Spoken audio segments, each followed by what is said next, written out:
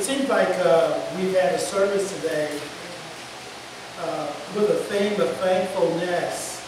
The many things that God has done for us, and although we're small in number, uh, there's a lot of things that we have to be thankful for. Uh, as we get into the, the, sermon for the day, I think that um, we can also see that the subject of our sermon today uh, that person was, was very thankful. It was very thankful to God. I'm going to ask you if you would turn in your Bibles to Job. Job, the uh, first chapter and uh, verse 1. The sermon is entitled God's Unfailing Love. God's Unfailing Love. Uh, I'm going to go through before the prayer for this sermon and read uh, our text for today. It starts in uh, Job 1.1. Job uh, chapter 1 verse 1. In the land of Uz there lived a man whose name was Job. This man was blameless and upright. He feared God and shunned evil. Sounds like a pretty good person there uh, to me. And then we want to jump to chapter 2. And we want to read verses 1 through verse 10. On another day, the angels came to present themselves before the Lord. And Satan also came with them to present himself before him. And the Lord said to Satan, Where have you come from? Satan answered uh, the Lord, From roaming throughout the earth going back and forth at it. Then the Lord said to Satan, Have you considered my servant they, uh, Jonah? I'm sorry, my servant Job. There is no one on earth like him. He is blameless and upright and a man who fears God and shuns evil. And uh, he still maintains his integrity, though you incite me against him to ruin him without any reason. Verse 4, skin for skin, Satan replied. A man will give all he has for his own life.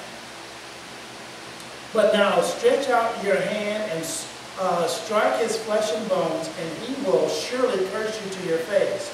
Lord said to Satan, Very well, then, he is in your hands, but you must spare his life. So Satan went out uh, from the presence of the Lord and afflicted Job with uh, painful sores from the soles of his feet to the crown of his head. Then Job took a piece of broken pottery and scraped himself with it as he sat among the ashes. His wife said to him, Are you still maintaining your integrity? Curse God and die. He replied, You are talking like a foolish woman. Shall we accept only uh, accept good from God and not trouble. Thank you, Father, for the lessons contained herein. I talked about thankfulness earlier. Job was a man who was thankful for you, to you for what you had done for him. Please help us as we study this. Open up our minds, Father. Help us to take it in so that we can worship you in the way that you deserve. In Jesus' name, amen. Wow, what a person Job was. Uh, going back to chapter 1 and reading verse 1, it says, In the land of Uz there lived a man whose name was Job. This man was blameless and upright, and he feared God and eschewed or shunned evil. Wow, that's quite a a, a, reputation to have. Job was a man who lived in the land of Uz.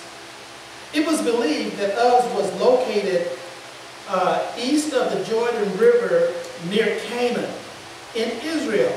Remember, Canaan was the land that God promised the Israelites during the days of Moses and Joshua. And of course, the Jews were the people whom God first revealed himself to. So Job lived in that area. Job was not a Jew, but he probably knew about God because he knew God's people. They're in the land of Canaan. We talked about something a couple of weeks ago where a man who was not a Jew but followed God because he was around God's people.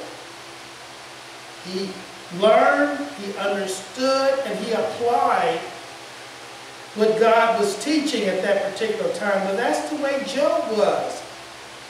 The book of Job shows a good man suffering for no apparent fault of his own. And we see that in many areas of our society today. Good people suffering through no fault of their own. We see that. Good people suffering through no fault of their own. We maybe had an accident. Wasn't your fault. People are careless and things happen. Mistakes are made. The Bible itself says time and chance happens to all of us. We as Christians are not in a bubble. You know, it would be nice maybe if we had a Teflon bubble all around us and all the evil would just come, and just bounce off. Time and chance happens to everyone. We live in a fallen world. Many are the afflictions of the righteous. But the Lord, if be trust in him, delivers them out of all of them. Of course, that doesn't mean we're abandoned by God because we suffer certain things. It doesn't mean that God has abandoned us at all. Job is shown here as a man who feared, fears God and shuns evil. Now, it doesn't mean that Job was sinless, because he wasn't. We see that in Job 42, verses 1 through 6. Does anyone have their Bible? I'd like for you to read the Job 42, verses 1 through 6. Anyone have his, have his Bible? Herb, do we have the mic? Sure. sure. Whoever wants to read it. I would like for someone to read that.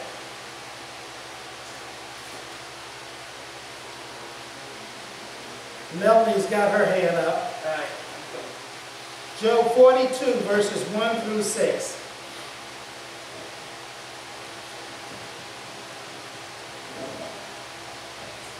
I have the New Version. Um, then Job replied to the Lord, I know that you can do anything and no one can stop you. You asked, Who is this that questions my wisdom with such ignorance? It is I, and I was talking about things I knew nothing about, things far too wonderful for me. He said, Listen, and I will speak. I have some questions for you, and you must answer them. I had only heard about you before, but now I have seen you with my own eyes. Verse 6 I take back everything I said, and I sit in dust and ashes to show my repentance. Thank you, Melanie. Job said, I repented. I talked about something I didn't know about. I was in error. So yes, Job did sin, but Job was human. Job practiced, nevertheless, what he preached. He had all of these good qualities, but one thing he did, he practiced what he preached. He was whole and balanced, a man of integrity. He was open he was transparent. And he lived up to the understanding of God that he had. The understanding that he had of God, he lived up to. That's what it means when it says um, that he was blameless or perfect. He lived up to what he understood, what he understood. And I got to throw another word to my brother back here, Mr. Lawrence. You have nothing to apologize for when you stand up and do what you know according to what God says. You know, uh, you can compare that to a, a, a scientist or an astronaut or anything else. As long as you do, do what you understand God wants you to do, you are perfect in God's sight. Doesn't mean that you're sinless. That's the way God looked at Job. Yes, Job lived up to the understanding of God that he had. Verse 1 says that Job was upright. This relates to his relationship with others, being upright. Related to the relationship with others and means straight, faithful, loyal. He was a man of moral character. Taking the root words of upright and blameless or perfect together, you have the peak of human, the, the peak of moral, human moral character. The peak of human moral character. You know, it would be great if a lot of people in our society today had human moral character. It amazes me, and I'm getting off of my soapbox right now, how politicians can stand for something when they were put in office by the people in their state to do what's best for them, but they want to do what's best for the party. You're going to have to forgive me, but that really rubs me the wrong way. That's not human moral character. I don't care what they say. This is what I want for me. Okay. That's not character. That's not the way Job was. It also says that Job feared God. This refers to a religious pers person. It refers to worship. Job was a man who actually worshiped God. He had a high and holy concept of God, and as a result, he hated evil. We're talking about a character here, a personality. And many of you have the same kind of personality and character that Job had. He shunned and or avoided evil.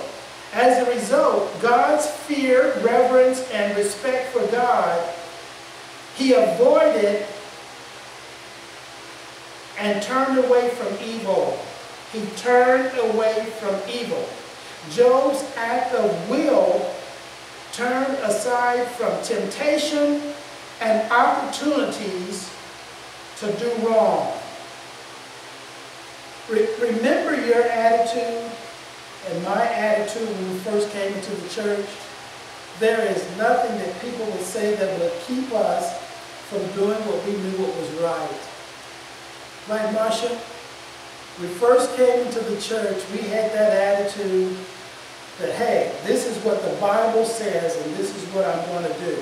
Well, that's the way Job was. Job, what a characteristic. What a personality. What much high respect for God that he gave his all to be for God 100%. Job was for God in God's way 100%. I stated earlier that the book of Job shows a good man suffering for no apparent fault of his own. Faith based on reward or prosperity is indeed hollow faith. Let me repeat that. Faith based on reward or prosperity is indeed hollow faith. This is what Satan was insinuating about Job. This wasn't the case with Job, however. To be unshakable, faith must be built on the confidence that God's ultimate purpose will come to pass. You can't see it right now, it doesn't seem apparent. But to be unshakable, faith must be built on uh, the confidence that God's ultimate purpose will come to pass. And Job, uh, Job knew this in the back of his mind. Job was the richest, was richer than anyone in the East. He was well known and the sage of the East. I'm sure many of you have read about Job. He was the richest man in that land. He was wise. He had friends all over. Let's jump to chapter 2, verse 1 to continue our text. Job chapter 2, verses 1 and 2. Another day the angels came to present themselves before uh, the Lord, and Satan also came with them to present himself before him. And the Lord said to Satan, Where have you come from? Now there was a day when the angels of the Lord came before God to present themselves before him, perhaps to give an account of what they had been doing. And behold, Satan shows up with them. And the Lord asked Satan, Where have you come from? And Satan said, From roaming throughout the earth, from walking back and forth in it, seeking what I can do, seeking whom I might entice. Turn with me to a New Testament scripture, uh, 1 Timothy Let's give you a little bit more light on that. First Timothy chapter 5. I want to read verses 14 and 15. So I counsel younger widows to marry and have children, to manage, the, manage their homes, and to give the enemy no opportunity for slander some have, in fact, already turned away to follow Satan. Satan is looking for opportunities to discourage you.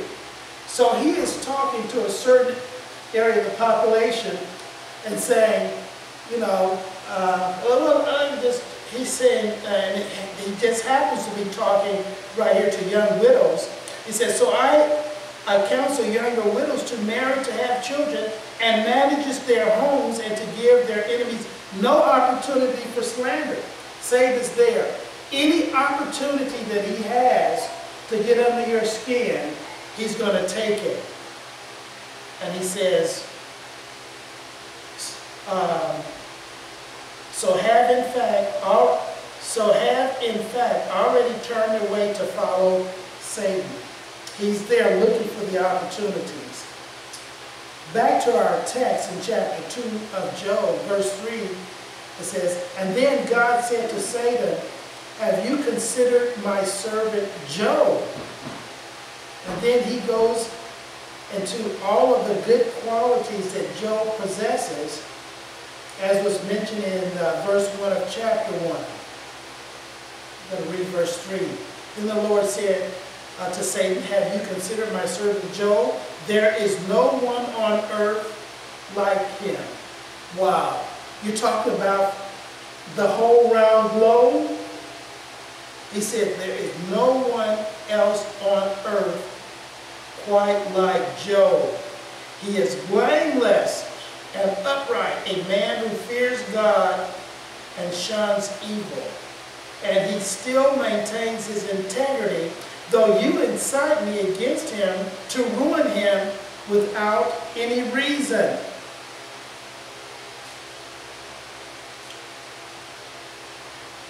And then Satan challenges God.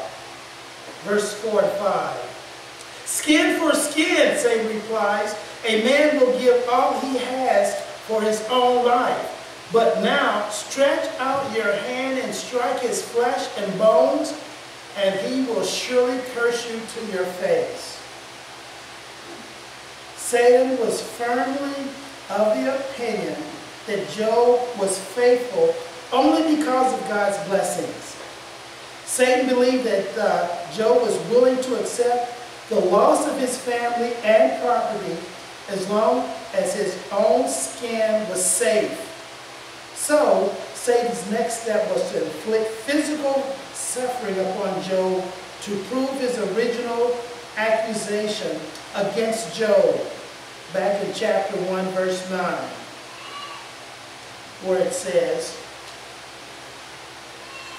chapter 1, verse 9. Does Job fear God for nothing?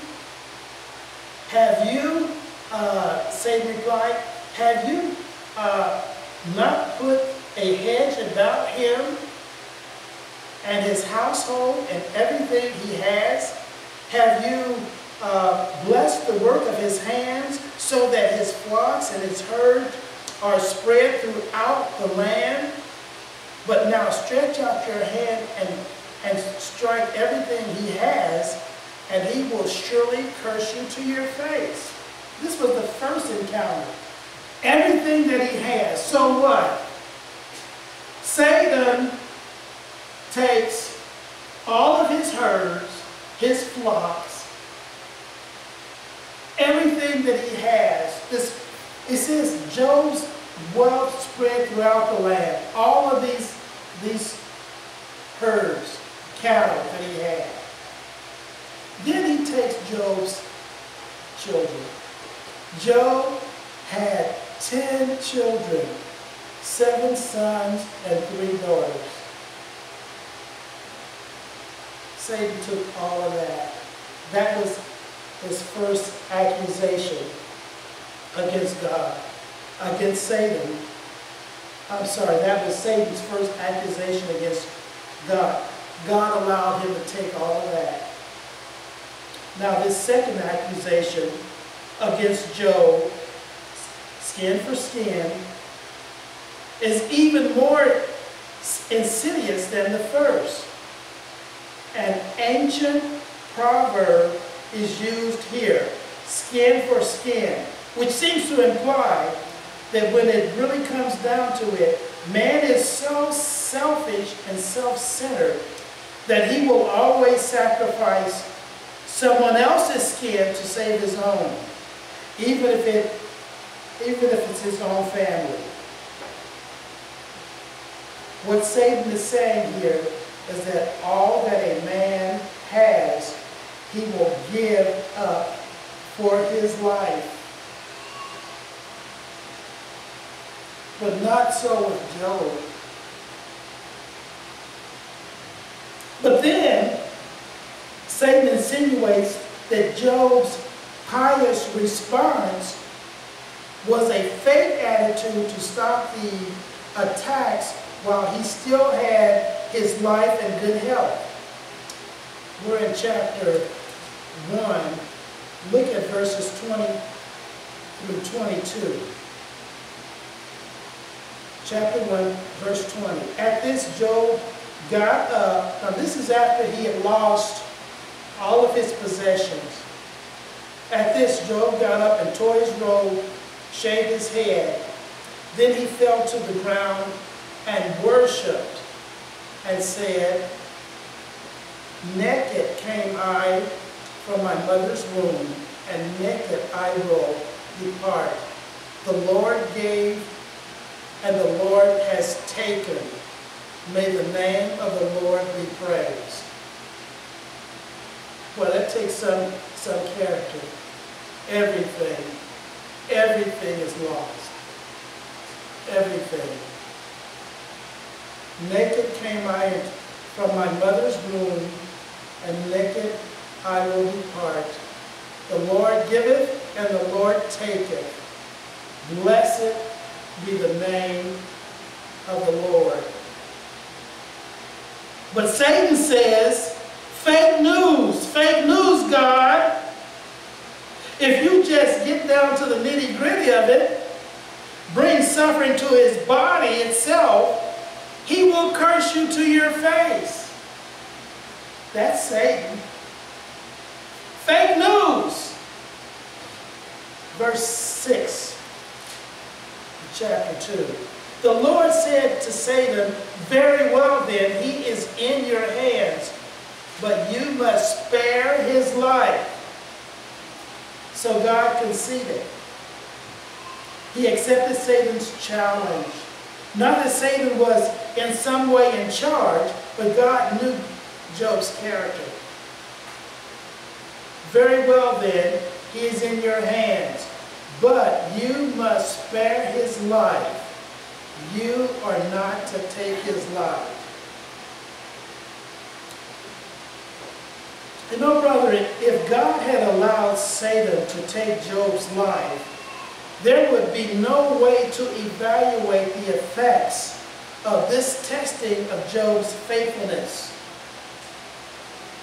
But that wasn't important to Satan. All he wanted to do was to destroy. If that had happened, nothing would have been proven by this entire encounter. Satan, however, is not smarter than God. Job's suffering was a test for Job, for Satan, and for us today. It wasn't a test for God.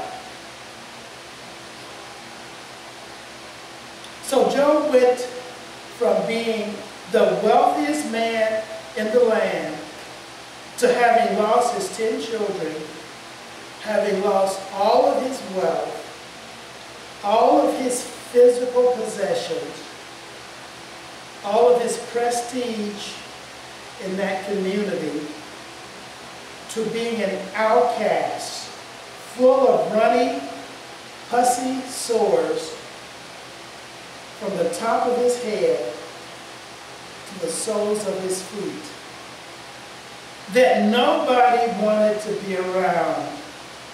Sitting outside the city on a garbage heap, totally stripped of everything. All at Satan's desire. Just think, you've lost everything. That's total destitution.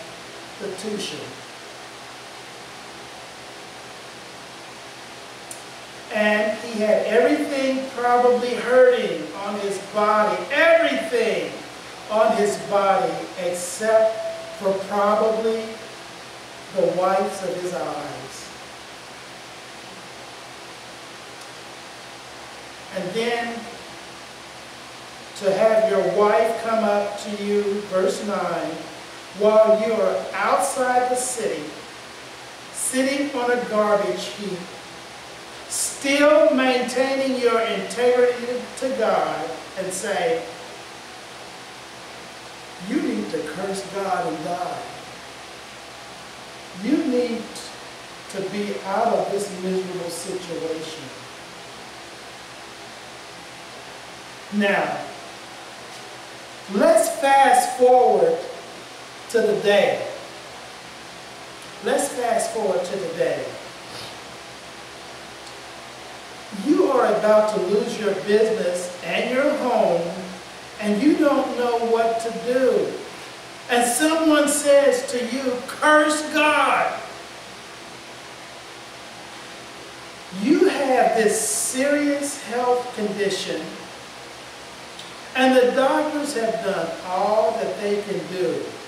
And someone says to you, why, why are you still trusting God? Your family, your relatives, and even your kids are so far from God and acting like pagans. And yet, you are still trying to maintain your holiness. Be upright before God. And someone says to you, give it up. Just give it up.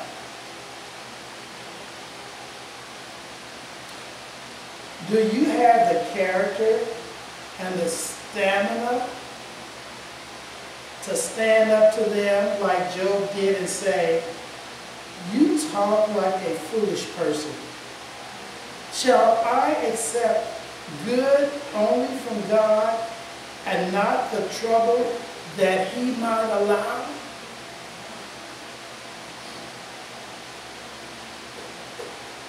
Now, let me back up a bit. Was Job happy and living in a state of bliss with all that was happening? No. Verse 8 says that Job took a piece of broken pottery and scraped himself with it as he sat on the ashes. What I'm saying, brother, is that we are not in charge. We live in an evil society, a fallen world, and there's also Satan's attacks against us.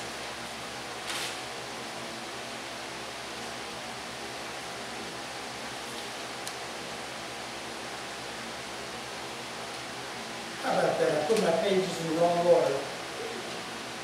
We also have Satan's attacks against us.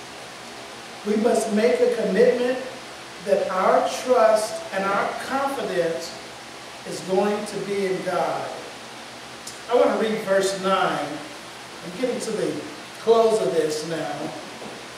Verse 9, it says, His wife said to him, Are you still maintaining your integrity? Curse God and die. Really, all Job needed was someone, someone's negative attitude around. That's all he needed was another, another negative attitude. Now, let me ask you at this point a strange question.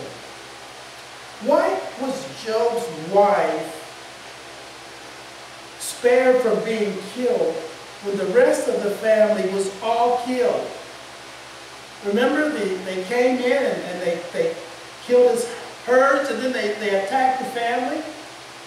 Why was she still spared? Don't sell Satan short. Don't sell him short. Is it possible that her very presence caused Job even more suffering through complaining, bickering, and accusing God over all they had lost? Was she an attitude, was she an additional trial for Job, uh, to pass through? She simply was doing the very same thing that Satan was trying to do. Curse God. Was it Satan's desire to speak,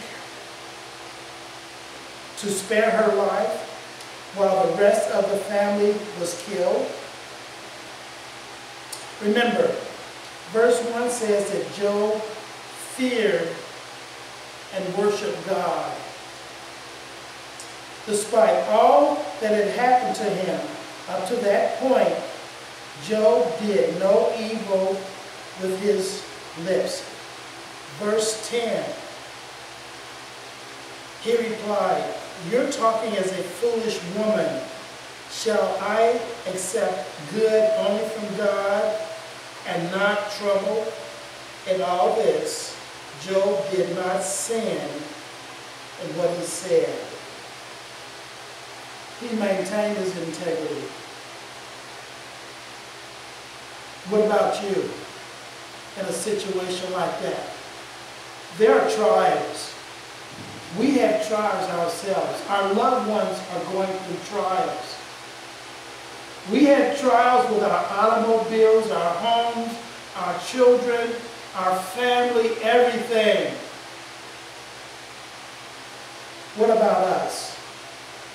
Are we going to remain committed to God despite all of that? God's unfailing love. Can we can we skip ahead in this story of Job about 40 chapters?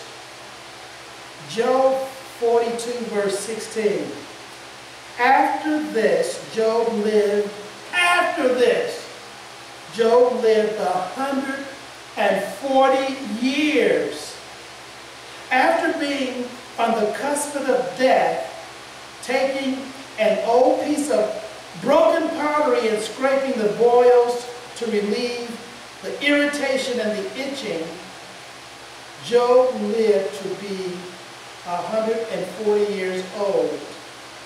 And he had an additional 10 more children and saw his children to the fourth generation. 10 more children and he saw them and their children and their children and their children. Four more generations. Yes. Chapter 42, verse 12 says, The Lord bless the latter half or the latter part of Job's life more than the former part. That's God's unfailing love. I can't believe that. His latter half was better than the first half. Can you imagine after God bragging on him and saying, Have you considered my servant Job? And Satan did everything in his power to take Job out. God says, but spare his life, and I'll show you. Wow, what a lesson. It's time for communion. I know it's been a long day, but it's time for communion. And just think, brother, you and I have an opportunity to participate in God's unfailing love. It's here, and it's free it's because of Jesus Christ, our Savior, our Messiah, our Redeemer, and our Deliverer, who wants us in the end to experience the joy that Job experienced, but even more in God's kingdom. I mean, that's what Job was working for. I'm game are you game to be a part of this? That's why we take part in communion, where we show our, a commitment of our trust and confidence in God through the sacrifice of Jesus Christ our Savior. If it were not for the sacrifice, we would not have such a wonderful opportunity such a wonderful opportunity to experience the unfailing love of Jesus. And it doesn't matter who we are. There are the wealthy people, the higher echelon people that don't even have this understanding. But because we are Jesus's, we have that opportunity. We have an opportunity to take part in communion with Jesus says, I want you to do to remember me. Father in heaven, thank you for the sermon, the lesson of Job, who, Father, of all the people on earth, was an example that God pointed to. And Father, we're not perfect and we don't have to be perfect and you don't expect for us to be perfect. That's why you took a very part of the Godhead and sent him to the earth, to earth, to die on our part, to be our sacrifice, to be our atonement, to sacrifice his life on our behalf. So we're so thankful, Father, and we can really go around in joy with our heads high, realizing the cost that was paid for each and every one of us. And as we partake, Father, of the communion at this time, that you said we need to do it on a regular basis, we pray that that bond between you and us will be even stronger. So as we take the bread and the wine, we ask your blessings upon it. And we pray that we can do it in great faith. Because, Father, it takes faith, it takes trust and confidence in you. We ask it all now. In Jesus' name, our Savior. Amen.